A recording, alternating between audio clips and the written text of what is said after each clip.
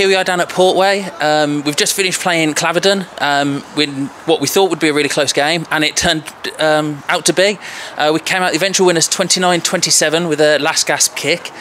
Um, but I think that's kind of jumping to the end of it there. So it was um, fraught throughout, Lewis. We were 15 5 behind it in the at half time Yeah, um, and really had to dig in in the second half. Yeah, I mean, we spoke uh, going into half time about it, and we thought we were on top for a lot of the first half. Just didn't come away with any points. I mean, we, we make mistakes, but overall, our, our game's played in their half, and I mean, we're moving the ball well and stuff. It's just the execution, last last like last phase that we're messing up. But we spoke about it. and We said like heads up because we're doing everything right. It's just the last last phase of play, and then obviously second half we come out, uh, scored within the first like sort of two minutes. Uh, I think like two or three back-to-back tries, and then sort of we, we carried on from there really. Yeah, absolutely. And then see, you see a similar kind of game from the outside, Harry. But it was the um, we were playing a lot of rugby in the first half, and they just took their chances when they were there. But it was kind of really supporting that, really watching on. Yeah, so the first half it was we were playing a lot of rugby in the right areas, but it was just the last little, like Lewis said, the last little passes just weren't going to hand. Dro- a couple drop balls, and then fair play to Claverdon. They, when they got their chances, they took them. They scored. But the second half was a lot better. We took a bit more chances, and we fought down to the end. It was tough at the end. Yeah, yeah, it really was.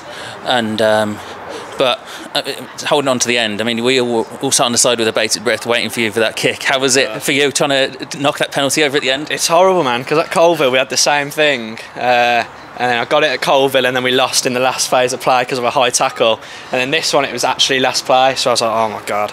Uh, I said to Joe, our captain, I said, look, I mean, I, I, I, I should get it, but I mean, the nerves got to me a little bit, and then uh, obviously kicked it, looking straight like it's going through the post, moves over. Hits the post and goes over, and then uh, yeah, we won by two points, didn't we? So, nah, it's nerve wracking, but you got got to be in that position sometimes, and the boys got us in that position to be within two or three points for me to make the kick. So props to the lads because we played really well second half. Yeah, it's all about those big moments, isn't it? It's the high pressure and being able to deal with it. it it's it, you learn it now, but it matters at different points of the season, doesn't it? Um, so, see, next week we're away again against um.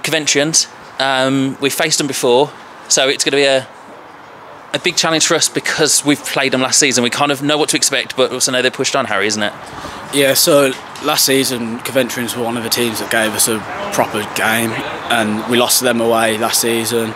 We want to sort of go back there this season now and do uh, do them over and give them a bit of payback. But it's going to be a tough game. They're a good squ- good squad, and they push us to the edge. Yeah. So it should be another exciting game ahead, and uh, yeah, so we can't wait, and we'll see you there next Saturday.